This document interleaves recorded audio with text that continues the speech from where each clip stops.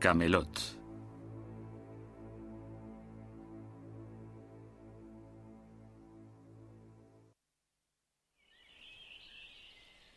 Hay un problema al que debemos enfrentarnos al comenzar cualquier análisis de Camelot, y es infranqueable. Algo bastante sencillo y brutal. No existe tal lugar. Cualquier intento de identificar el Camelot del rey Arturo es en vano. Camelot no existió, simplemente no existió. Fue mencionado por primera vez por el escritor francés del siglo XII llamado Chrétien de Troyes y lo menciona como una referencia fortuita a la que se refirió de pasada en un relato sobre el caballero Lanzarote. Se mencionó claramente. Esta zona de gran influencia sobre Arturo ya había sido mencionada antes. Jeffrey de Monmouth hizo alusión a Carleón, así como Londres y Winchester, pero volvemos una y otra vez a la misma pregunta sobre Camelot. Y creo que cuando Chrétien de Troyes escribió ese nombre, despertó la curiosidad del público, divulgando la magia de algo que nunca nos ha dejado.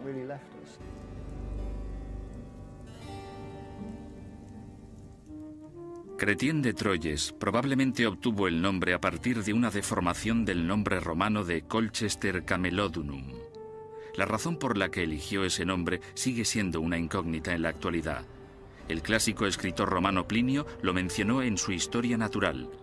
Es muy posible que a Chrétien le gustase su eufonía y le dio un cierto toque francés. Camelot es tan misterioso como cualquier otro lugar de las leyendas del rey Arturo. Camelot es Colchester, que a mediados de la Edad Media era una gran ciudad con unas espectaculares ruinas romanas. Aún conserva sus gigantescas murallas romanas con su solemne fortín. No puedes ir a Colchester cuando el viento se levanta, ya que podría azotarte con restos de piedras romanas. Durante el siglo XII, cuando los trovadores franceses miraban hacia Gran Bretaña, Colchester era una espectacular ciudad romana que muchos de ellos conocían y cuyo nombre romano era Camelodunum, convirtiéndose en Camelot en las lenguas medievales, un simple lugar donde ubicar la capital del reino del rey Arturo. Un lugar prominente conocido en todo el continente parece tener cierto sentido.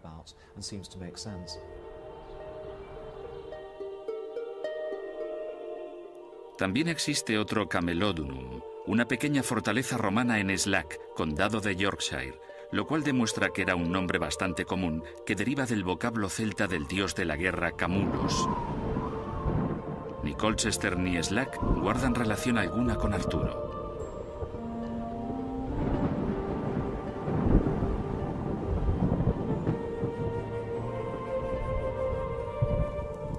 Cualquiera que sea el origen del nombre, está claro que a partir de entonces otros escritores medievales añadieron sus propias visiones sobre Camelot.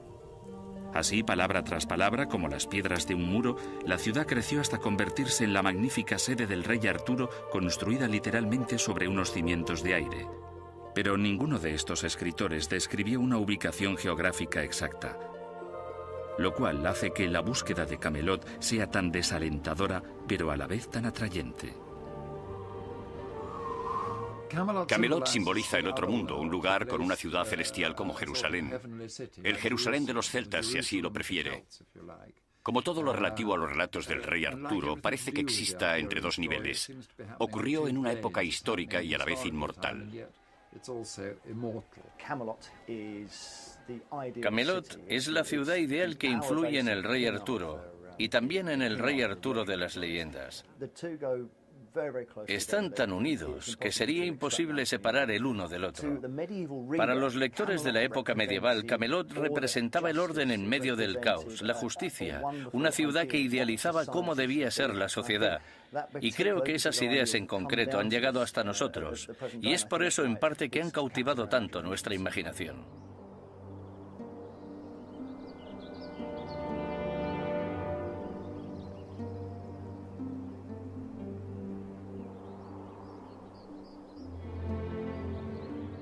Camelot ha gozado de un gran atractivo durante siglos, pero a pesar de que nunca haya existido, excepción hecha de los relatos y la imaginación de los lectores, existe la esperanza de que esté ahí fuera, en algún lugar, a la espera de ser descubierta. Esto es suficiente para garantizar su inmortalidad.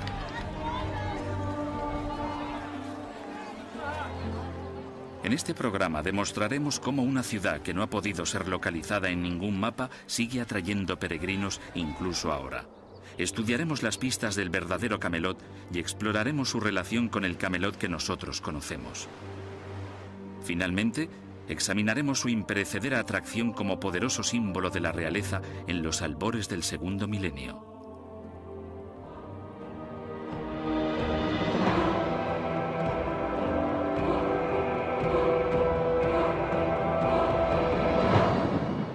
Castillos construidos en el aire.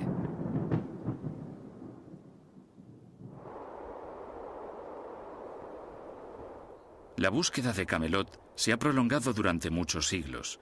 Pero ¿qué se pretende encontrar? Como en la mayoría de los casos, depende de lo que entendamos por Camelot. Según la visión popular, en el reino del rey Arturo, la justicia y la honradez prevalecían gracias a los caballeros de la mesa redonda. Camelot llegó a ser un castillo con torreones altos y el feudo en el que Arturo reinó. Ningún arqueólogo podrá jamás imaginarse el descubrimiento de las ruinas de este lugar. Es buscar en vano, porque Camelot fue un encargo hecho por un Arturo que solo existió en las leyendas.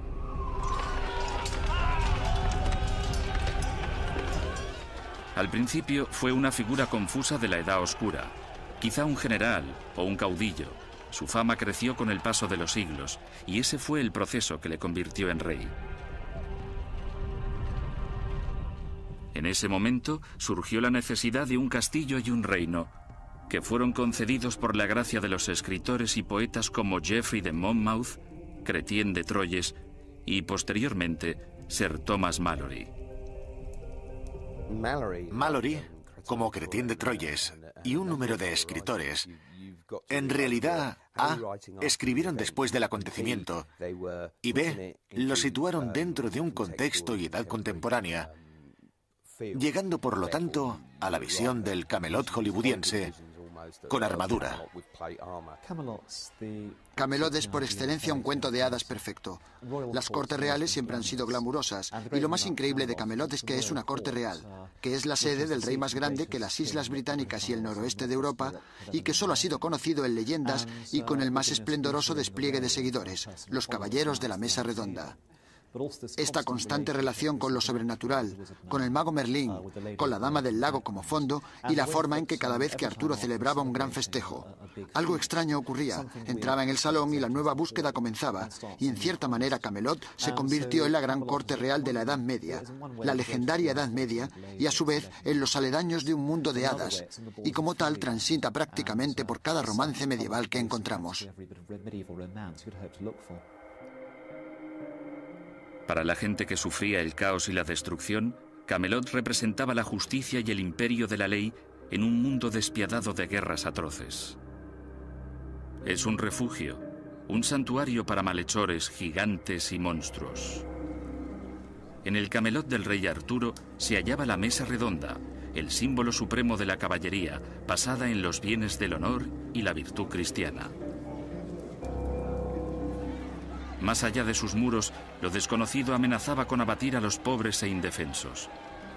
Cualquier persona indefensa o tratada injustamente tan solo tenía que acudir a la mesa redonda de Camelot para recibir protección o una satisfacción. Nuestro anhelo por la justicia nos empuja a la búsqueda de Camelot. Camelot apela, a mi entender, al anhelo que tenemos por una sociedad ideal, un buen gobierno, un gobierno sin corrupción, un gobierno que básicamente se ocupa de protegernos, un gobierno que se preocupa por nosotros, un gobierno que se cerciorará de que el alcantarillado vuelva a funcionar y que nos sintamos rodeados por una sociedad en quien confiar. Camelot tiene todo lo necesario para hacer que un país funcione. Tiene un líder carismático, tiene unos fieles seguidores, tiene la magia de su parte, goza de verdad absoluta, belleza, y sin embargo tiene unas imperfecciones mortales. Por lo menos hay dos serpientes en este Edén y son las figuras que más se admiran. Lanzarote y Ginebra. Y cuando una realmente grande llega en forma de Mordred, todo se viene abajo. Así es la historia de cómo la bondad absoluta puede ser completamente corrompida. Es un relato muy cristiano. Seguramente Camelot ha inspirado a mucha gente, poetas y artistas. Todo ello se ha convertido en una fantástica maquinaria propagandista y creo que en realidad es algo que no se puede ignorar.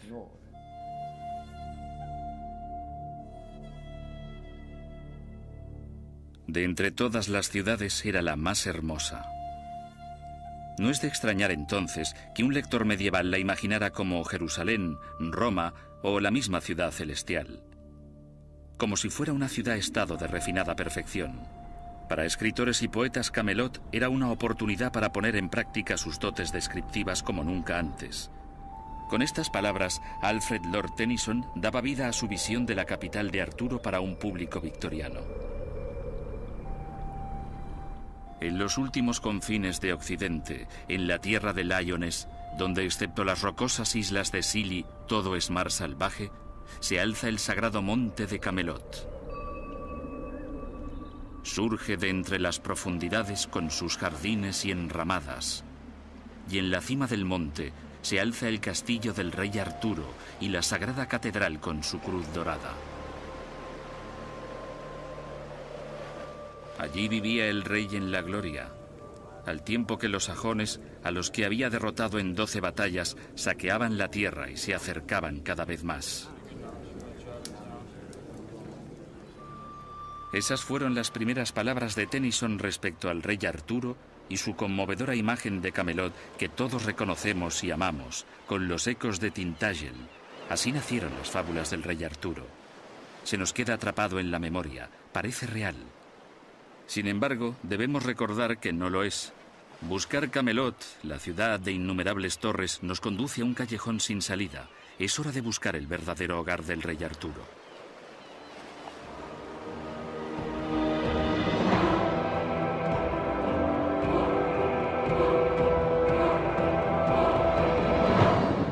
¿Falsos Camelots?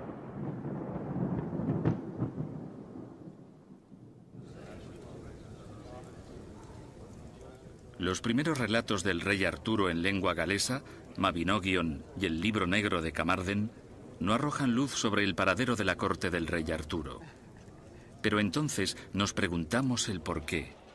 Celebran un festejo sobre una figura heroica recordada como un caudillo, no como rey.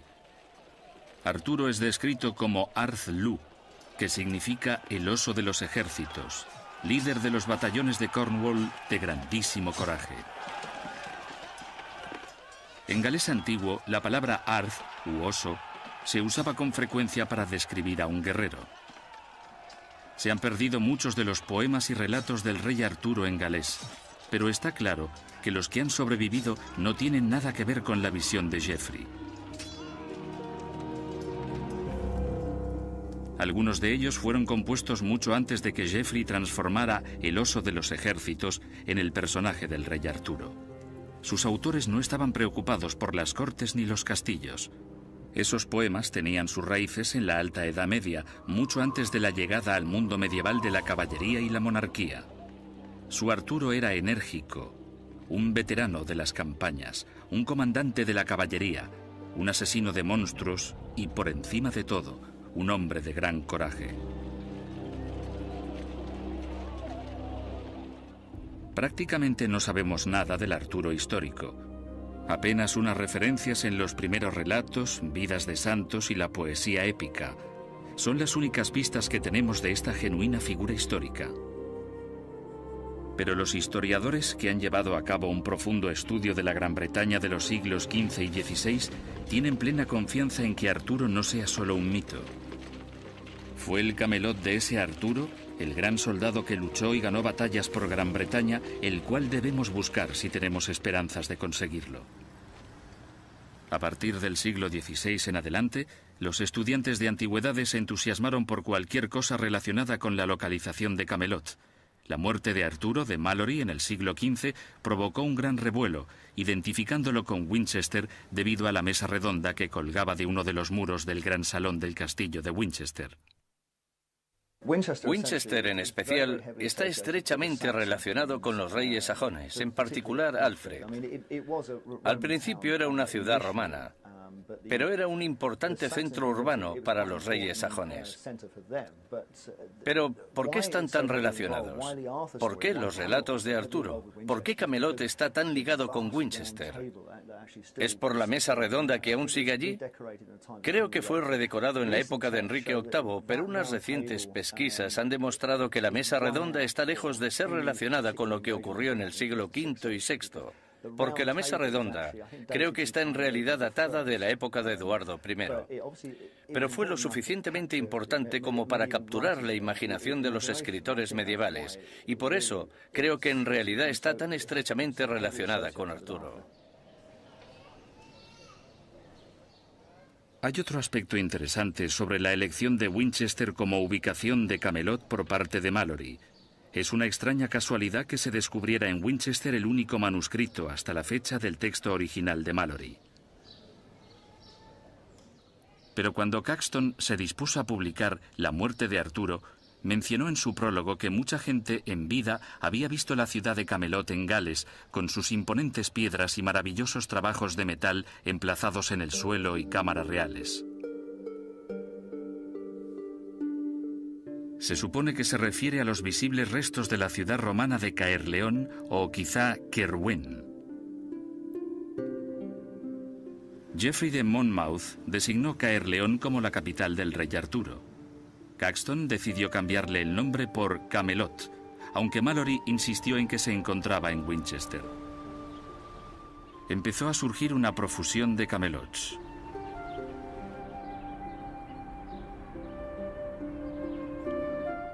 Jeffrey ya había identificado el anfiteatro romano en Caerleón como la mesa redonda del rey Arturo, añadiendo más pruebas erróneas a la montaña de indicios históricos falsos.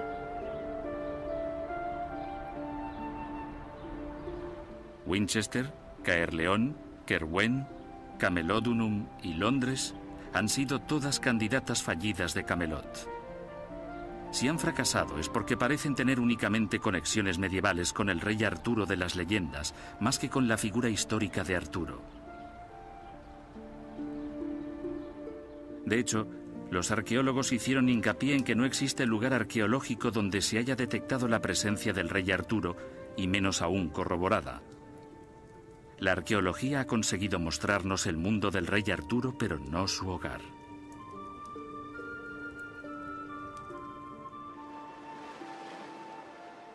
Esta situación podría cambiar mañana. Tan solo sería necesario un fragmento escrito arrancado de la tierra y Camelot y el rey Arturo quedarían al descubierto. Esa era la esperanza cuando en 1998 se encontró en Tintagel una loza de pizarra con unas palabras inscritas que se usaba para cubrir un sumidero. Las palabras estaban escritas en latín con elementos sajones primitivos y de acuerdo con la formación de las palabras, los expertos llegaron a fecharlo alrededor del año 500 después de Cristo.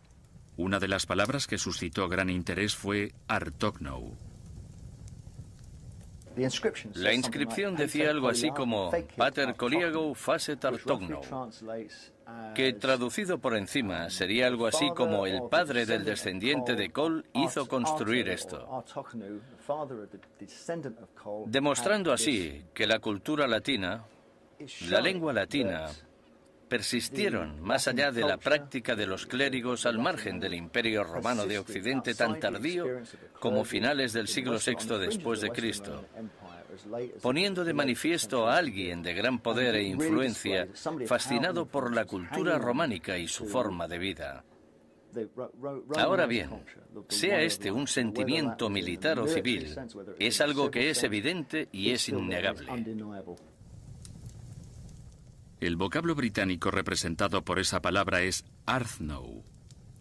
El sufijo de este vocablo, arth, proviene de la raíz celta de oso, Muchos de los antiguos nombres galeses lo conservan, Arthmail y Artien, por nombrar un par. Los expertos han sido prudentes a la hora de establecer cualquier relación entre el nombre de la pizarra descubierta en Tintagel y la legendaria figura de Arturo, cuyos primeros vínculos con este lugar, de los que se tiene constancia, fueron descritos más de 600 años después por Geoffrey de Monmouth. Pero es de humanos preguntarse quién fue Arthnow y qué hacía en Tintagel. La versión oficial apunta que las piedras muestran el uso de los elementos celtas en un nombre de la época.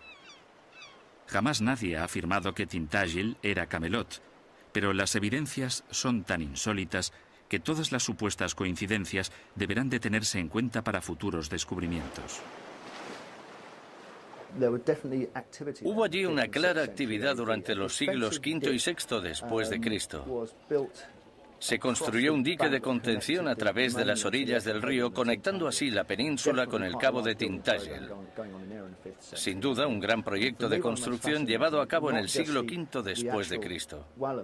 Para mí, una de las cosas más fascinantes no es el dique en sí que fue construido, sino la increíble cantidad de hallazgos de cristal fino y cerámica que no fueron elaborados en este país, sino que en realidad fueron importados del este, de la parte oriental del Imperio Romano, así que alguien de la parte del oeste celta comerciaba con la parte este romana sin el conocimiento de los reinos sajones.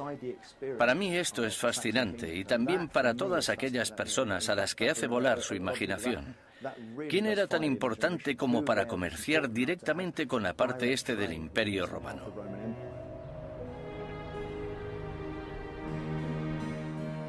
Por el momento, Tintagel ni siquiera comporta una pequeña prueba que lo vincule con Arturo. Se perdió el entusiasmo, pero es comprensible. Y, sin embargo, Arturo tenía nombre de guerrero. ¿Qué hacía entonces en el emplazamiento de un monasterio? A menos que la tierra nos ofrezca una señal, quizá nunca lo sepamos.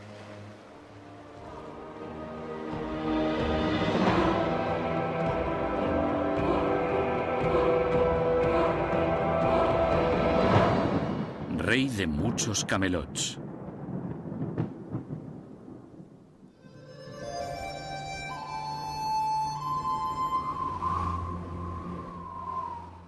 Casi cada rincón de Gran Bretaña presume de varias aspirantes a Camelot.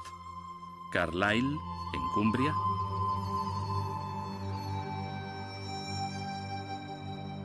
Chester, en la región central de Inglaterra.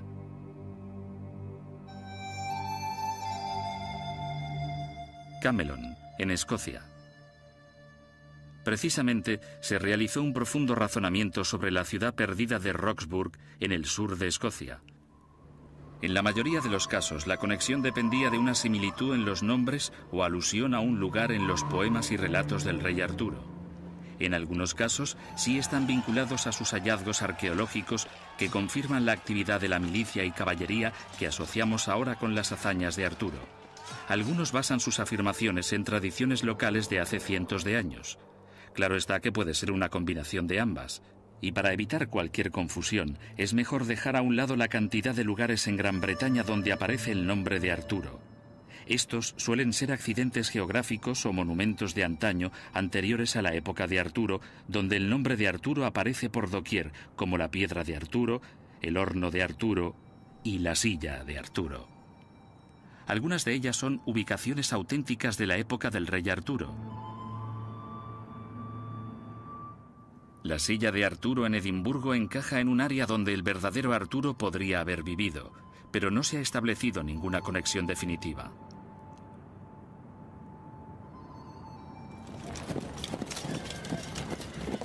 Una cuestión que a menudo se ha planteado sobre el Arturo histórico es que es muy probable que fuera un comandante de caballería dirigiendo tropas móviles por la rápida vía romana.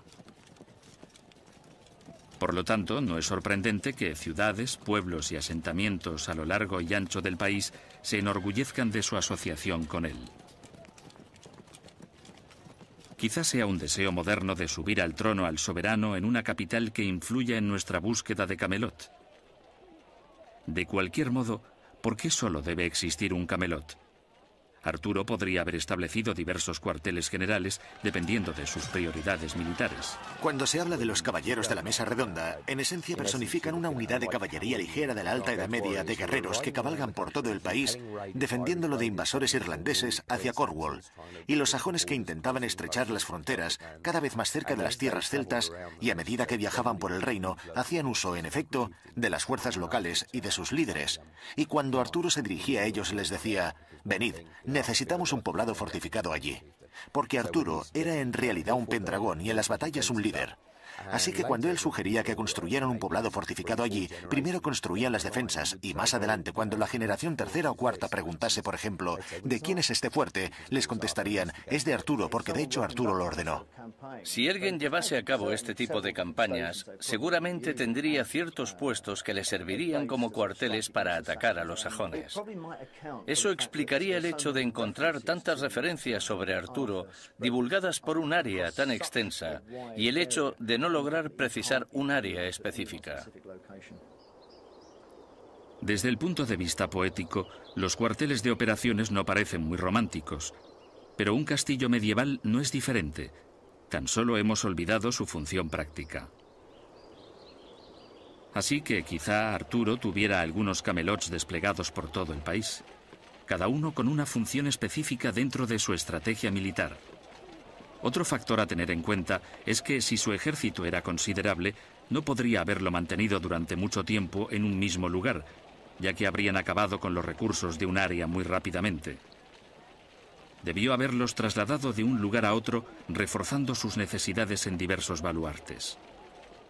Si uno acepta el hecho de que las facciones romano-británicas mantuvieron los modales y las costumbres no solo de la cultura romana como lo había conseguido, sino también las estrategias militares romanas, entonces probablemente intentarían imitar a los romanos disponiendo de un ejército de campaña.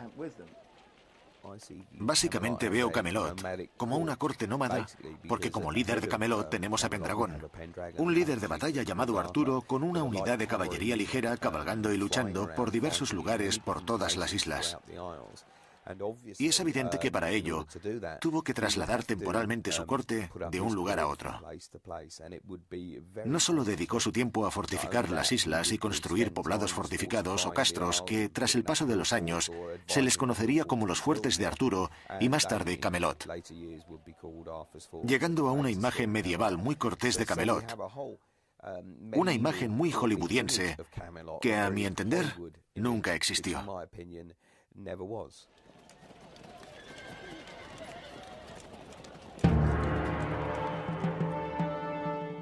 Un lugar que se pasó por alto como posible Camelot es la ciudad romana de Viroconium, ahora Roxeter, cerca de Shrewsbury.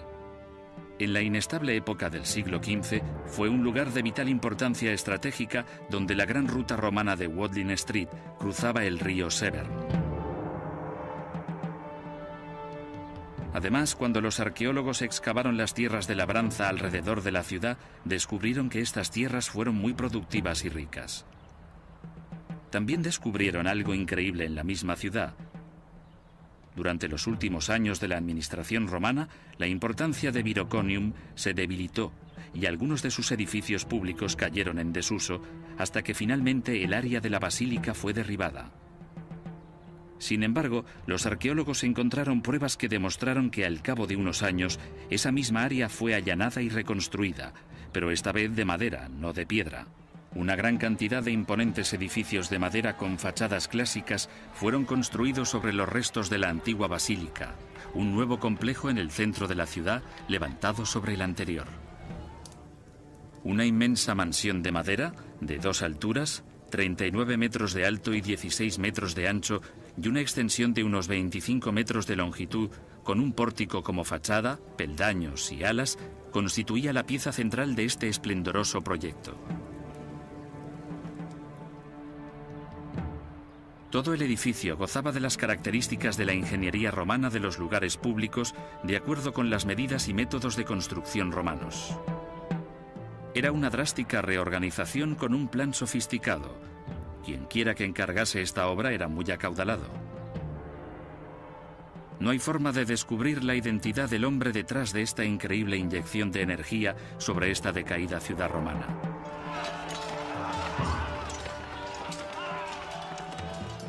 Se cree que el encargo se realizó un par de años antes en la batalla de Badon, que quizá tuviera lugar cerca de Wiltshire. ¿Pudo Arturo, justo después de su triunfal victoria en Badon, haber establecido un cuartel en Viroconium, añadiendo otro camelot a sus territorios? Una cosa es segura, fuera lo que fuera lo que ocurrió en Viroconium y que provocó esa enorme inyección de capital, mano de obra y determinación, tuvo que contar con un hombre muy poderoso e influyente, un hombre con la voluntad de mantener los estándares romanos y los medios para llevarlo a cabo. Para un caudillo del siglo V o VI, según las pesquisas arqueológicas, Roxeter fue una ciudad muy concurrida y también muy interesante. Porque particularmente en aquella época, con la excepción de algunos fuertes, en Gran Bretaña la mayoría de los centros urbanos estaban bastante en declive y sin embargo alguien en Roxeter en algún momento entre el siglo V y VI estaba llevando a cabo un inmenso programa de reconstrucción que no tenía nada que ver con los asentamientos sajones. Tenía que ser alguien con una increíble cantidad de dinero, alguien con una gran influencia en esa época para conseguir hacerlo. Un escritor reciente vincula a Roxeter firmemente con Vortiger y otro también con Ambrosia. Es bastante interesante. Un área concreta y una ciudad en particular con una innegable importancia dentro del marco político del siglo V y VI después de Cristo. Existen bastantes pruebas documentales de que tras la batalla de Badon los británicos disfrutaron de una época de gran prosperidad. ¿Pudo este tardío desarrollo de Viroconium, incomparable con cualquier otro de la época, ser un signo de dicha prosperidad? Una ciudad como esta, con sus impresionantes estructuras, rodeada de abundantes tierras de labranza, seguro que provocó admiración. A un campesino normal le habría parecido espléndida e impresionante. De esta manera, la leyenda de una gran ciudad hermosa gobernada por un heroico y poderoso líder podría haber nacido. ¿Se estaba creando entonces otro Camelot? Roxeter realmente despierta en nosotros ciertas preguntas interesantes. ¿Quién fue en esa época lo suficientemente poderoso? ¿Quién tuvo durante esa época ese nombre particular y esa habilidad para motivar a esas personas para fortalecer la que fue esencialmente la cuarta ciudad más grande de la provincia de Britania? ¿Quién tuvo en esa época la capacidad para hacerlo? Todo ello despierta preguntas muy interesantes sobre Arturo y si Arturo realmente existió.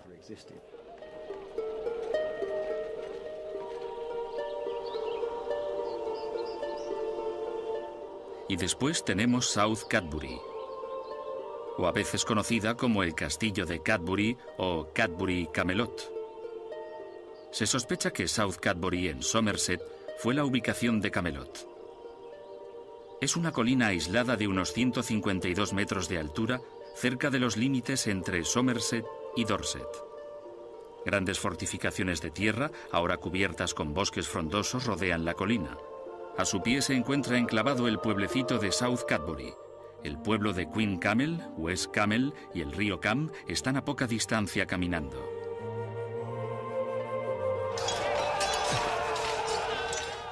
Se dice que en este río se produjo la escena de la última batalla de Arturo en Camland.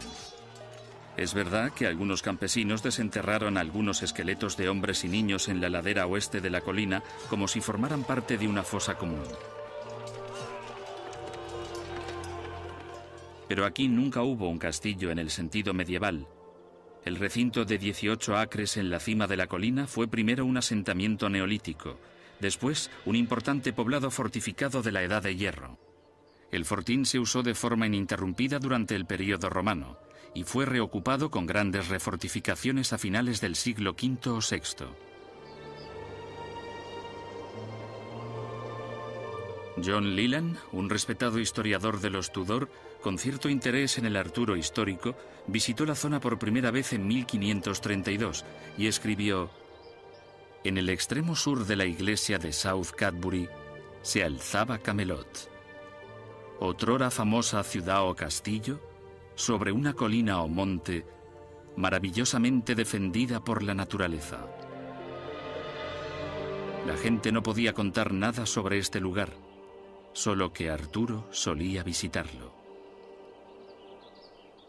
O sea que, si nos fiamos de Leland, está claro que la tradición local sobre el rey Arturo ya existía. Allí escuchó algunos extraños relatos.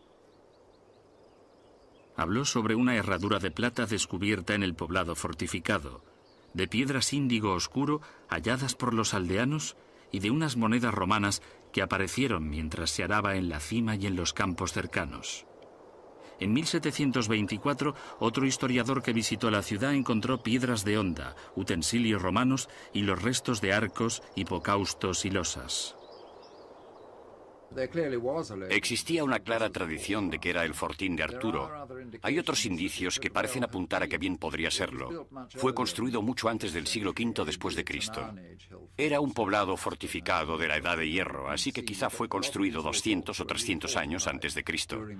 Pero muchos de aquellos poblados fortificados fueron refortificados durante las guerras contra los ingleses y eran ideales para esto.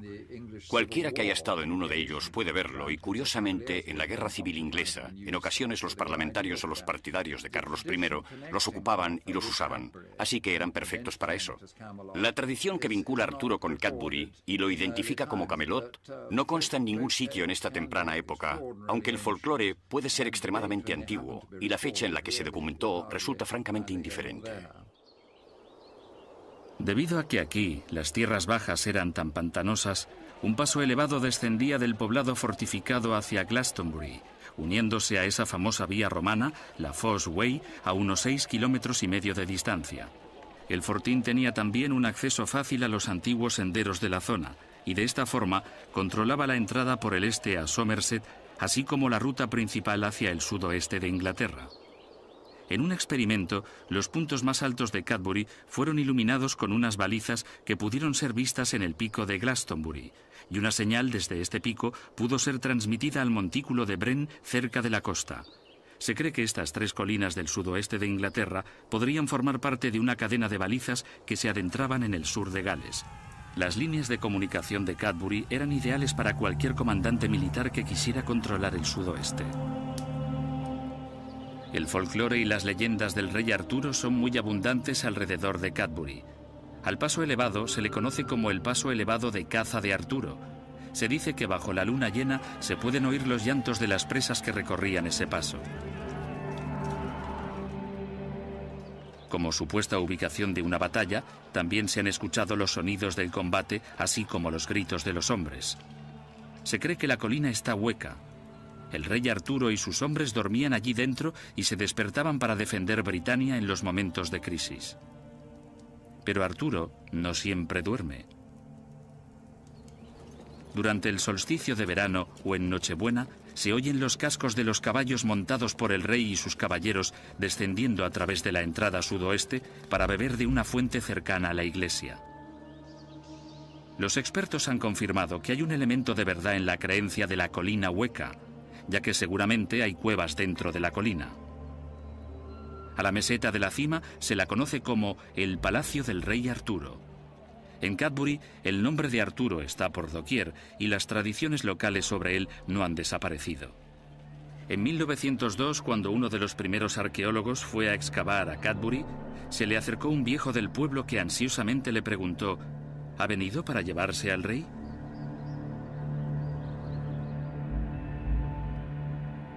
Para los historiadores estaba claro que el gran número de vínculos con Arturo en los alrededores de Cadbury fueron provocados por algo fuera de lo común. Cuando el Comité de Investigación de Camelot empezó a excavar en la población fortificada en 1966, era evidente que esta ubicación era muy especial. Al cabo de unos años, los descubrimientos que hicieron causaron sensación. Para empezar, el fortín tenía indicios de haber sido habitado durante más de cuatro milenios.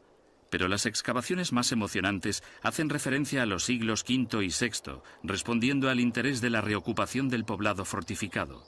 El cercamiento de 18 acres en la cima del fortín había sido refortificado con un muro de mampostería reutilizando algunas piedras romanas. De hecho, algunos de los elementos de las nuevas fortificaciones se asemejaban bastante a los edificios militares romanos. Trozos de cerámica fina importada del Mediterráneo dan una idea de la lujosa forma de vida de un aristócrata y permitió que los arqueólogos datasen la ocupación de la edificación sobre el último cuarto del siglo V, exactamente cuando Arturo se supone que estuvo activo. Restos de algunas edificaciones de madera, incluyendo un magnífico salón para banquetes propio de una persona con un alto estatus. Las excavaciones de 1966 nos demostraron la existencia de fuertes refortificaciones en la parte exterior de los terraplenes de South Cadbury. Se llevaron a cabo intensas construcciones en el interior de South Cadbury e incluso se alzaron en aquella época unos maravillosos torreones de entrada de madera. Y de nuevo, es alguien con mucho poder e influencia el que ha podido hacer todo esto. Si visitase South Cadbury hoy, descubrirías que hay una meseta bastante grande y transportar esa cantidad de material allí implica un programa de reconstrucción bastante grande. Así que era alguien interesado en su reconstrucción, en refortalecer un adormecido poblado fortificado celta. Y de nuevo nos gustaría saber quién. Es maravilloso poder especular que un personaje como Arturo pudiera estar detrás de todo esto, pero es imposible de saber. Pero no se encontró nada que pudiera vincular Cadbury concretamente con Arturo. Sin embargo, las excavaciones demostraron que a finales del siglo V, justamente en la época de mayor éxito de Arturo, alguien había sido lo suficientemente poderoso e importante como para levantar nuevas defensas, edificios y torres de entrada. Alguien que encargó las construcciones de un gran salón de unos 20 metros de altura, alguien con una mezcla de culturas romana y británica. La excavación reveló que South Cadbury había sido ocupada en la mismísima época de Arturo. Pero no es la ubicación más rica en hallazgos de este periodo ni tampoco es la mejor fortificada. Está claro que es una de las más grandes, pero las pruebas de construcciones en sí son bastante discutibles y si no fuera por un estudioso que conversó con la persona adecuada en el siglo XVI nunca lo hubiéramos asociado con Camelot. Así que puede que estemos ante la ubicación de la fortaleza de Arturo o bien ante una sorprendente cantidad de tonterías que surgieron a mediados del siglo XX cuando se estaban llevando a cabo proyectos arqueológicos financiados con dinero público. Y ahora resulta que la mayoría de los arqueólogos que estudian este periodo ponen en duda que este sitio se pueda vincular con Arturo. Bueno, en cierta manera eso es verdad. No hay una asociación directa con Arturo antes de Leland. Pero por otra parte sería el lugar más propicio donde encontrarle. Aquí está este grandioso fortín, mucho más poderoso que la mayoría de los de la época en Britania, y refortificado justo en el punto estratégico, haciendo frente a los bárbaros sajones que se aproximan. No entiendo el motivo por el que esta tradición no pueda ser cierta. Era sin duda la fortaleza de un gran líder, un hombre militar con rango y acaudalado que vivió durante la época de Arturo. Los expertos en la logística del arte bélico han estimado que el fortín podría soportar unas mil personas durante un periodo razonable de tiempo. Un hombre al mando de ese número de tropas sería inusual. En cierta manera, el nombre de este hombre no es importante, las diferencias entre él y el Arturo histórico son tan escasas como insignificantes y las similitudes son bastante convincentes.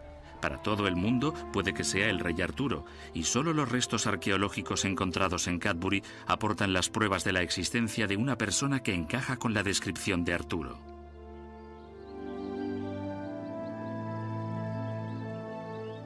Desde entonces, los arqueólogos han descubierto otros poblados fortificados restaurados de esa época, y también a gran escala, pero son cautos a la hora de darle demasiada importancia a Cadbury.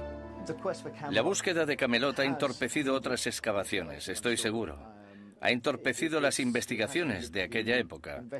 De hecho, algunas áreas están totalmente inexploradas. Desgraciadamente, cualquier cosa relacionada con Arturo o Camelot atrae enormes elementos marginales, desviando las preguntas importantes que podríamos hacernos. Y en concreto pienso en las excavaciones. Sin embargo, en la otra cara de la moneda, en la cara positiva, ha captado la imaginación del público en general hasta tal punto que cuando hay un hallazgo un tanto oscuro como la losa con la inscripción hallada en Tintagel, podría probablemente atraer los fondos necesarios para llevar a cabo algunos proyectos. Pero caminamos por una línea muy delgada si afirmamos que investigamos la Britania de Arturo, ya que la mitad del mundo académico se burlaría e incluso reiría, y es comprensible ya que no hay pruebas suficientes para demostrar que Camelot o Arturo existieron, aunque mucha gente quisiera saberlo. Pero para aquellos que buscan Camelot, la búsqueda puede esperar un tiempo. En el salón, bajo la luz de la antorcha, un gran líder cuyo nombre podría ser Arturo celebra una victoria esplendorosa por las hazañas heroicas de sus hombres que podríamos llamar sus caballeros. Y por ahora, Cadbury es Camelot, porque es cualquier sitio donde se celebra el coraje y la honradez. Camelot es tanto una idea como un lugar. El tiempo y su ubicación son de poca importancia. Lo importante es luchar por el bien. Esa simple idea cautivó al mundo medieval. Su código de caballería incorporó el mundo de... Y a su vez en los aledaños de un mundo de hadas, y como tal transita prácticamente por cada romance medieval que encontramos. Para la gente que sufría el caos y la destrucción, Camelot representaba la justicia y el imperio de la ley en un mundo despiadado de guerras atroces. Es un refugio, un santuario para malhechores, gigantes y monstruos. En el Camelot del rey Arturo se hallaba la mesa redonda, el símbolo supremo de la caballería, basada en los bienes del honor y la virtud cristiana. Más allá de sus muros, lo desconocido amenazaba con abatir a los pobres e indefensos.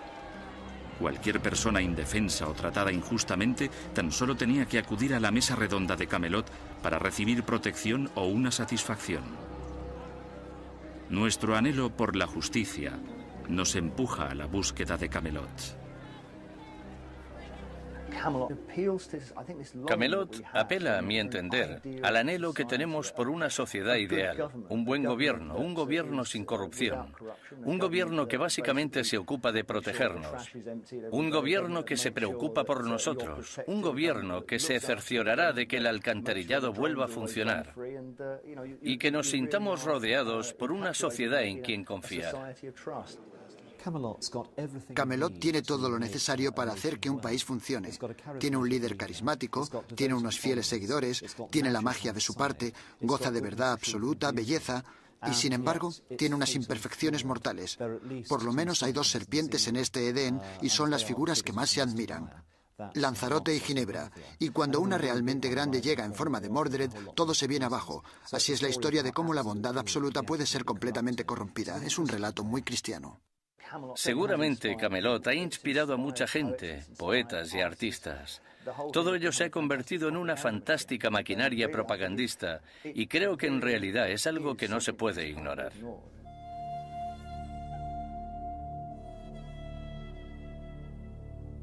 De entre todas las ciudades era la más hermosa.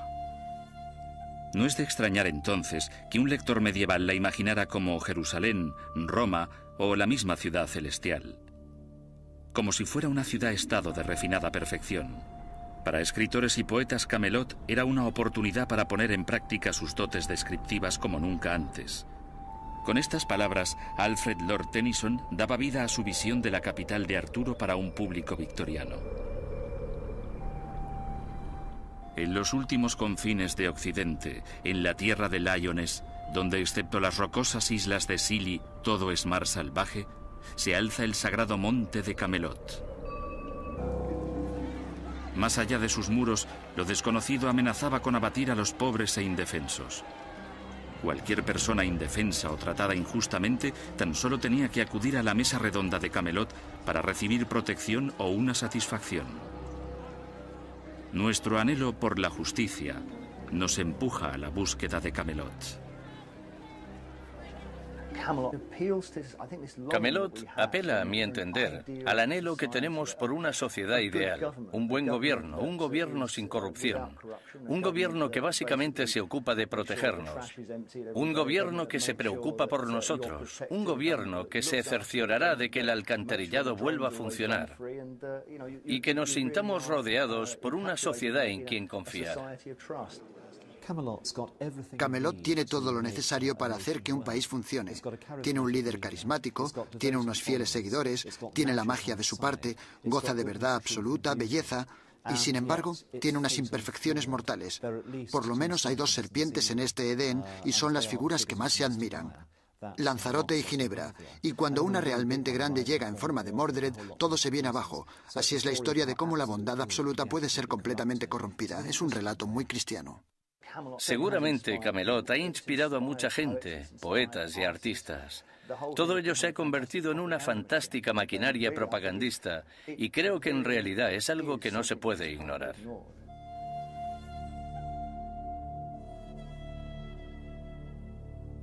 De entre todas las ciudades era la más hermosa. No es de extrañar entonces que un lector medieval la imaginara como Jerusalén, Roma o la misma ciudad celestial. Como si fuera una ciudad-estado de refinada perfección. Para escritores y poetas, Camelot era una oportunidad para poner en práctica sus dotes descriptivas como nunca antes. Con estas palabras, Alfred Lord Tennyson daba vida a su visión de la capital de Arturo para un público victoriano. En los últimos confines de Occidente, en la tierra de Lyones, donde excepto las rocosas islas de Sili todo es mar salvaje, se alza el sagrado monte de Camelot. Surge de entre las profundidades con sus jardines y enramadas, y en la cima del monte se alza el castillo del rey Arturo y la sagrada catedral con su cruz dorada. Allí vivía el rey en la gloria, al tiempo que los sajones, a los que había derrotado en doce batallas, saqueaban la tierra y se acercaban cada vez más. Esas fueron las primeras palabras de Tennyson respecto al rey Arturo y su conmovedora imagen de Camelot que todos reconocemos y amamos. El área de la basílica fue derribada. Sin embargo, los arqueólogos encontraron pruebas que demostraron que al cabo de unos años esa misma área fue allanada y reconstruida, pero esta vez de madera, no de piedra. Una gran cantidad de imponentes edificios de madera con fachadas clásicas fueron construidos sobre los restos de la antigua basílica, un nuevo complejo en el centro de la ciudad levantado sobre el anterior. Una inmensa mansión de madera, de dos alturas, 39 metros de alto y 16 metros de ancho, y una extensión de unos 25 metros de longitud, con un pórtico como fachada, peldaños y alas, constituía la pieza central de este esplendoroso proyecto. Todo el edificio gozaba de las características de la ingeniería romana de los lugares públicos de acuerdo con las medidas y métodos de construcción romanos. Era una drástica reorganización con un plan sofisticado, quien quiera que encargase esta obra era muy acaudalado. No hay forma de descubrir la identidad del hombre detrás de esta increíble inyección de energía sobre esta decaída ciudad romana.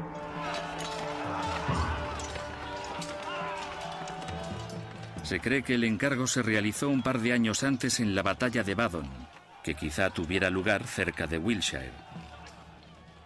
¿Pudo Arturo, justo después de su triunfal victoria en Badon, haber establecido un cuartel en Viroconium, añadiendo otro Camelot a sus territorios? Una cosa es segura, fuera lo que fuera lo que ocurrió en Viroconium y que provocó esa enorme inyección de capital, mano de obra y determinación, tuvo que contar con un hombre muy poderoso e influyente, un hombre con la voluntad de mantener los estándares romanos y los medios para llevarlo a cabo. Para un caudillo del siglo V o VI, según las pesquisas arqueológicas, Roxeter fue una ciudad muy concurrida y también muy interesante. Porque particularmente en aquella época, con la excepción de algunos fuertes, en Gran Bretaña la mayoría de los centros urbanos estaban bastante en declive. Y sin embargo alguien en Roxeter en algún momento, entre el siglo V y VI, estaba llevando a cabo un inmenso programa de reconstrucción que no tenía nada que ver con los asentamientos sajones. Tenía que ser alguien con una increíble cantidad de dinero, alguien con una gran influencia en esa época para conseguir hacerlo. Un escritor reciente vincula a Roxeter firmemente con Vortiger y otro también con Ambrosia. Es bastante interesante. Un área concreta y una ciudad en particular con una innegable importancia dentro del marco político del siglo V y VI después de Cristo. Al principio fue una figura confusa de la Edad Oscura, quizá un general o un caudillo su fama creció con el paso de los siglos y ese fue el proceso que le convirtió en rey. En ese momento surgió la necesidad de un castillo y un reino, que fueron concedidos por la gracia de los escritores y poetas como Geoffrey de Monmouth, Chrétien de Troyes y posteriormente Sir Thomas Malory. Malory, como Chrétien de Troyes y un número de escritores, en realidad, A, escribieron después del acontecimiento y B, lo situaron dentro de un contexto y edad contemporánea, llegando por lo tanto a la visión del Camelot hollywoodiense con armadura. Camelot es por excelencia un cuento de hadas perfecto. Las cortes reales siempre han sido glamurosas y lo más increíble de Camelot es que es una corte real, que es la sede del rey más grande que las islas británicas y el noroeste de Europa y que solo ha sido conocido en leyendas y con el más esplendoroso despliegue de seguidores, los caballeros de la mesa redonda. Esta constante relación con lo sobrenatural, con el mago Merlín, con la dama del lago como fondo y la forma en que cada vez que Arturo celebraba un gran festejo, algo extraño ocurría. Entraba en el salón y la nueva búsqueda comenzaba y en cierta manera Camelot se convirtió en la gran corte real de la Edad Media, la legendaria Edad Media y a su vez en los aledaños de un mundo de hadas y como tal transita prácticamente por cada romance medieval que encontramos.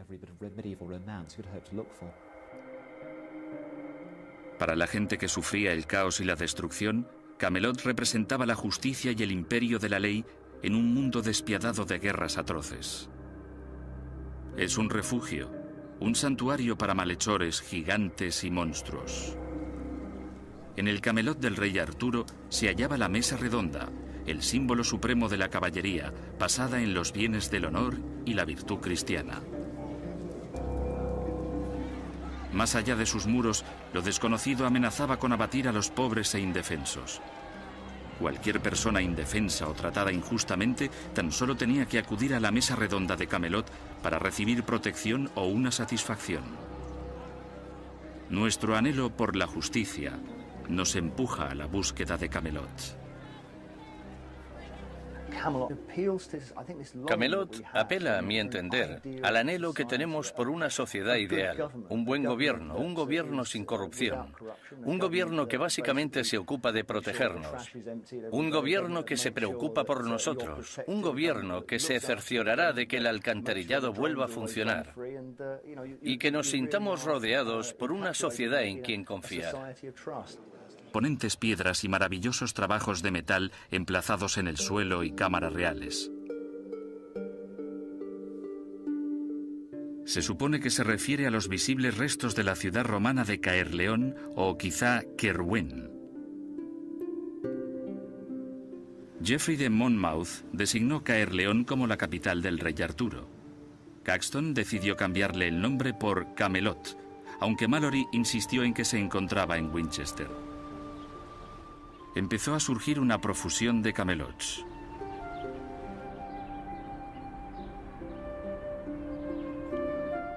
Jeffrey ya había identificado el anfiteatro romano en Caerleón como la mesa redonda del rey Arturo, añadiendo más pruebas erróneas a la montaña de indicios históricos falsos.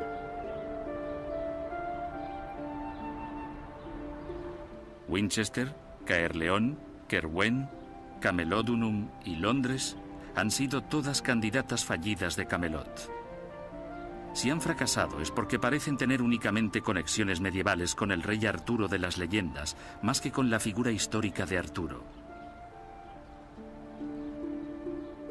De hecho, los arqueólogos hicieron hincapié en que no existe lugar arqueológico donde se haya detectado la presencia del rey Arturo, y menos aún corroborada.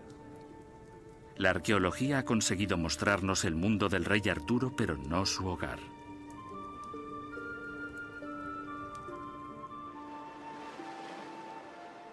Esta situación podría cambiar mañana. Tan solo sería necesario un fragmento escrito arrancado de la tierra y Camelot y el rey Arturo quedarían al descubierto. Esa era la esperanza cuando en 1998 se encontró en Tintagel una loza de pizarra con unas palabras inscritas que se usaba para cubrir un sumidero. Las palabras estaban escritas en latín con elementos sajones primitivos y de acuerdo con la formación de las palabras, los expertos llegaron a fecharlo alrededor del año 500 después de Cristo. Una de las palabras que suscitó gran interés fue Artognou,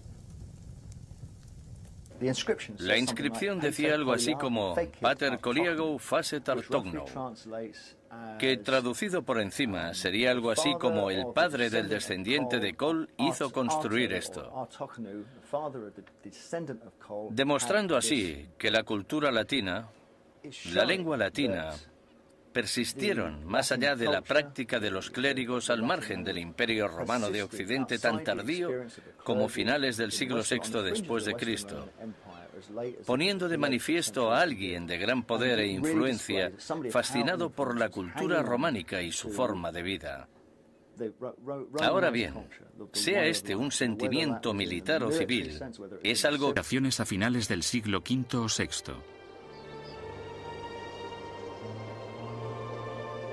John Leland, un respetado historiador de los Tudor, con cierto interés en el Arturo histórico, visitó la zona por primera vez en 1532 y escribió, En el extremo sur de la iglesia de South Cadbury se alzaba Camelot, otrora famosa ciudad o castillo, sobre una colina o monte, maravillosamente defendida por la naturaleza. La gente no podía contar nada sobre este lugar solo que Arturo solía visitarlo. O sea que, si nos fiamos de Leland, está claro que la tradición local sobre el rey Arturo ya existía. Allí escuchó algunos extraños relatos. Habló sobre una herradura de plata descubierta en el poblado fortificado, de piedras índigo oscuro halladas por los aldeanos y de unas monedas romanas que aparecieron mientras se araba en la cima y en los campos cercanos. En 1724, otro historiador que visitó la ciudad encontró piedras de honda, utensilios romanos y los restos de arcos, hipocaustos y losas. Existía una clara tradición de que era el fortín de Arturo. Hay otros indicios que parecen apuntar a que bien podría serlo. Fue construido mucho antes del siglo V después de Cristo. Era un poblado fortificado de la Edad de Hierro, así que quizá fue construido 200 o 300 años antes de Cristo. Pero muchos de aquellos poblados fortificados fueron refortificados durante las guerras contra los ingleses y eran ideales para esto. Cualquiera que haya estado en uno de ellos puede verlo y curiosamente en la Guerra Civil Inglesa, en ocasiones los parlamentarios o los partidarios de Carlos I los ocupaban y los usaban, así que eran perfectos para eso. La tradición que vincula a Arturo con Cadbury y lo identifica como Camelot no consta en ningún sitio en esta temprana época, aunque el folclore puede ser extremadamente antiguo y la fecha en la que se documentó resulta francamente indiferente. Debido a que aquí las tierras bajas eran tan pantanosas, un paso elevado descendía del poblado fortificado hacia Glastonbury, uniéndose a esa famosa vía romana, la Foss Way, a unos seis kilómetros y medio de distancia. El fortín tenía también un acceso fácil a los antiguos senderos de la zona, y de esta forma controlaba la entrada por el este a Somerset, así como la ruta principal hacia el sudoeste de Inglaterra. En un experimento, los puntos más altos de Cadbury fueron iluminados con unas balizas que pudieron ser vistas en el pico de Glastonbury, y una señal desde este pico pudo ser transmitida al montículo de Bren cerca de la costa. Se cree que estas tres colinas del sudoeste de Inglaterra podrían formar parte de una cadena de balizas que se adentraban en el sur de Gales. Las líneas de comunicación de Cadbury eran jardines y enramadas. Y en la cima del monte se alza el castillo del rey Arturo y la sagrada catedral con su cruz dorada. Allí vivía el rey en la gloria, al tiempo que los sajones, a los que había derrotado en doce batallas, saqueaban la tierra y se acercaban cada vez más. Esas fueron las primeras palabras de Tennyson respecto al rey Arturo y su conmovedora imagen de Camelot que todos reconocemos y amamos, con los ecos de Tintagel. Así nacieron las fábulas del rey Arturo. Se nos queda atrapado en la memoria, parece real. Sin embargo, debemos recordar que no lo es. Buscar Camelot, la ciudad de innumerables torres, nos conduce a un callejón sin salida. Es hora de buscar el verdadero hogar del rey Arturo.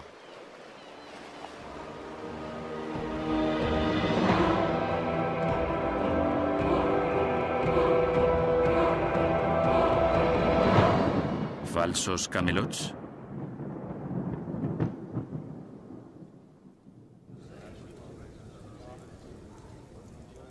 Los primeros relatos del rey Arturo en lengua galesa, Mabinogion y el libro negro de Camarden, no arrojan luz sobre el paradero de la corte del rey Arturo.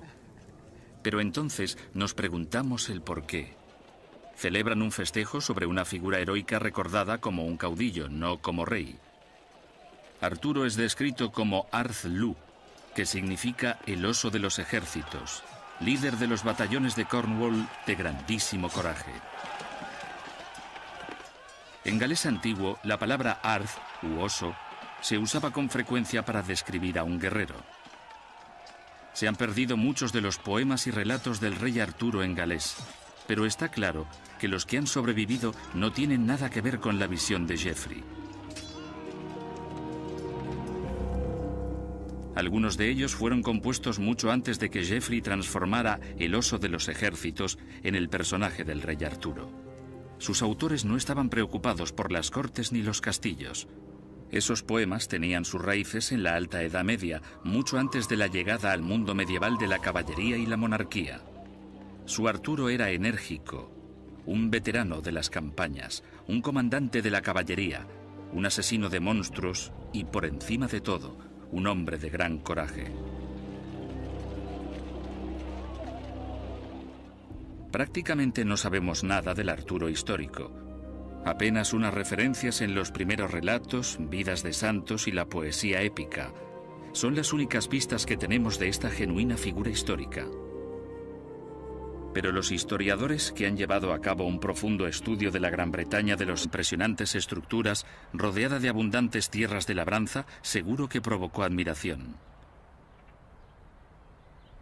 A un campesino normal le habría parecido espléndida e impresionante. De esta manera, la leyenda de una gran ciudad hermosa gobernada por un heroico y poderoso líder podría haber nacido. ¿Se estaba creando entonces otro Camelot? Roxeter realmente despierta en nosotros ciertas preguntas interesantes. ¿Quién fue en esa época lo suficientemente poderoso? ¿Quién tuvo durante esa época ese nombre particular y esa habilidad para motivar a esas personas para fortalecer la que fue esencialmente la cuarta ciudad más grande de la provincia de Britania? ¿Quién tuvo en esa época la capacidad para hacerlo? Todo ello despierta preguntas muy interesantes sobre Arturo y si Arturo realmente existió.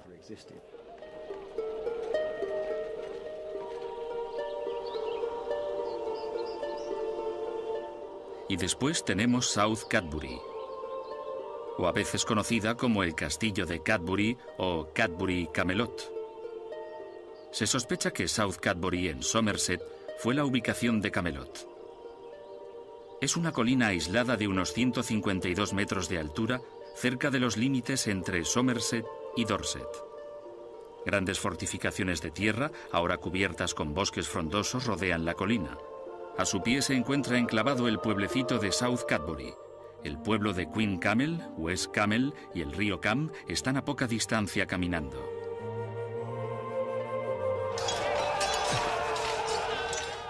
Se dice que en este río se produjo la escena de la última batalla de Arturo en Camland. Es verdad que algunos campesinos desenterraron algunos esqueletos de hombres y niños en la ladera oeste de la colina como si formaran parte de una fosa común. Pero aquí nunca hubo un castillo en el sentido medieval. El recinto de 18 acres en la cima de la colina fue primero un asentamiento neolítico, después un importante poblado fortificado de la Edad de Hierro. El fortín se usó de forma ininterrumpida durante el período romano y fue reocupado con grandes refortificaciones a finales del siglo V o VI. John Leland, un respetado historiador de los Tudor, con cierto interés en el Arturo histórico, visitó la zona por primera vez en 1532 y escribió, En el extremo sur de la iglesia de South Cadbury se alzaba Camelot, otrora famosa ciudad o castillo, sobre una colina o monte, maravillosamente defendida por la naturaleza.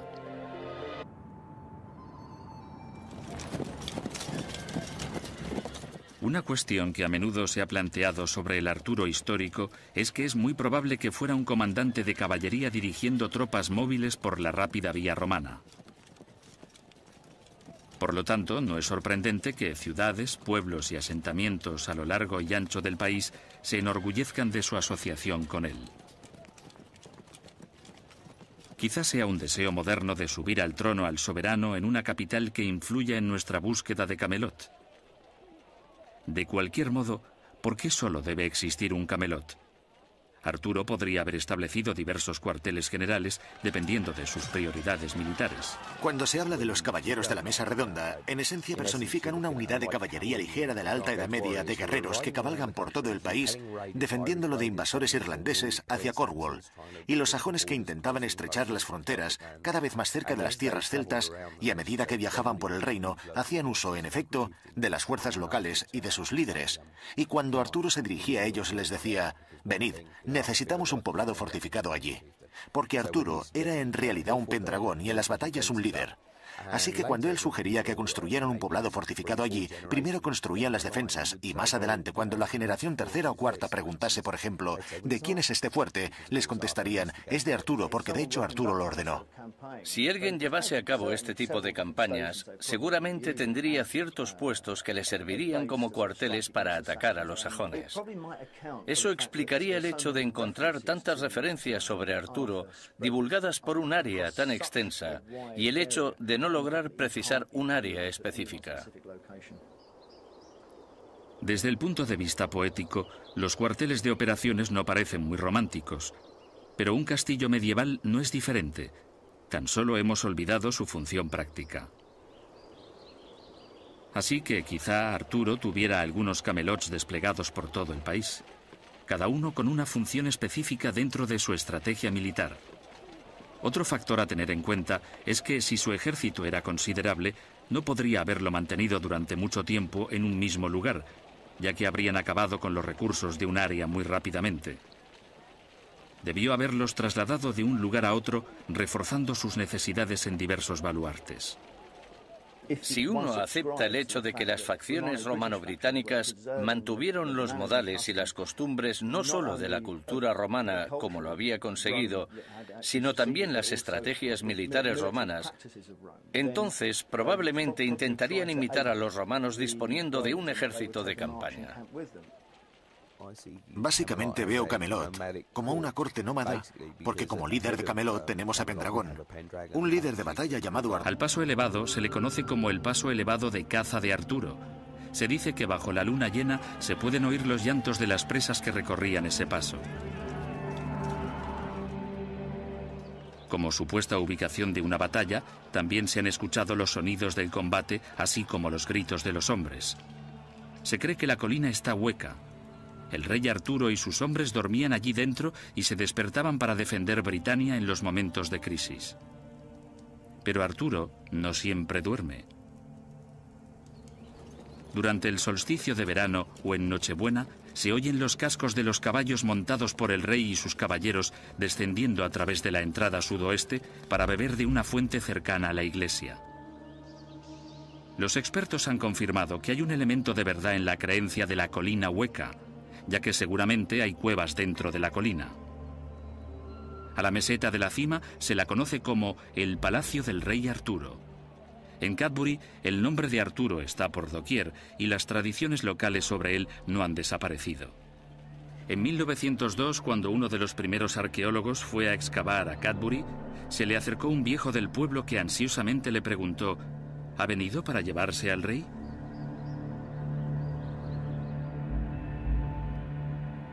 Para los historiadores estaba claro que el gran número de vínculos con Arturo en los alrededores de Cadbury fueron provocados por algo fuera de lo común. Cuando el Comité de Investigación de Camelot empezó a excavar en la población fortificada en 1966, era evidente que esta ubicación era muy especial. Al cabo de unos años, los descubrimientos que hicieron causaron sensación. Para empezar, el fortín tenía indicios de haber sido habitado durante más de cuatro milenios. Pero las excavaciones más emocionantes hacen referencia a los siglos V y VI, respondiendo al interés de la reocupación del poblado fortificado. el cercamiento de 18 acres en la cima del fortín había sido refortificado con un muro de mampostería reutilizando algunas piedras romanas. De hecho, algunos de los elementos de las nuevas fortificaciones se asemejaban bastante a los edificios militares romanos.